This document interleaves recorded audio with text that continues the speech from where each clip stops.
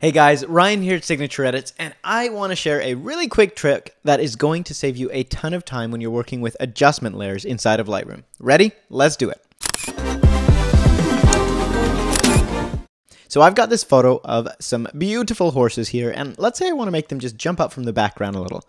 Well, I can go to my adjustment brush here, and I can select a nice brush preset that I've got. This is from the Genesis pack, if you're interested. If not, you can always make your own. You get the point. This brush basically has some slight adjustments on many multiple sliders, okay? So I can paint on top of these horses here, and you'll see that they'll pop out just a little bit. We're adding some contrast, a little bit of clarity, little dehaze, saturation, that sort of thing.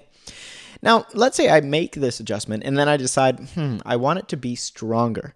Well, that would normally require me to go to all of these little brushes and one at a time take them up, down, just sort of magnify the effect, right? And it's not going to be perfect or pretty or fast. It's going to take me a long time and it's really finicky.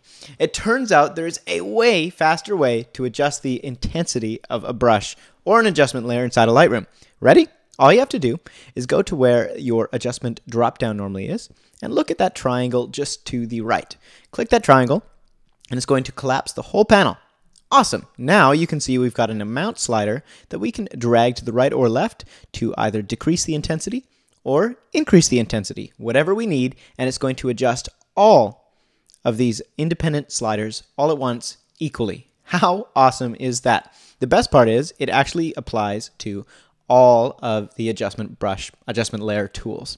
All you have to do is go to your radial filter to find this out. Go to our radial adjustment layer, and let's say that I want to just go down here and say add some dehaze darken. Okay, let's say that this effect is not near intense enough for me because I want it to be super dark and moody. Well, all I have to do is drag that amount slider up, and just like that, we have magnified the effect.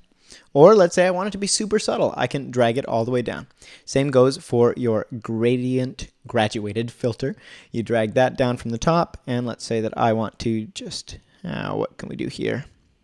Let's do a sun flare, because why not? And let's say that I want that to be more intense. Well, I could try and do it manually like that, or I can hit this little collapse window and I can drag that up or down depending on how intense I want the effect to be. Really cool, saves a ton of time, and I hope it helps you the way it's helped me. All right, take care. Don't forget to like, subscribe, and leave me a comment if you knew about this. Why didn't you tell me sooner? I'll see you in the next one. Take care.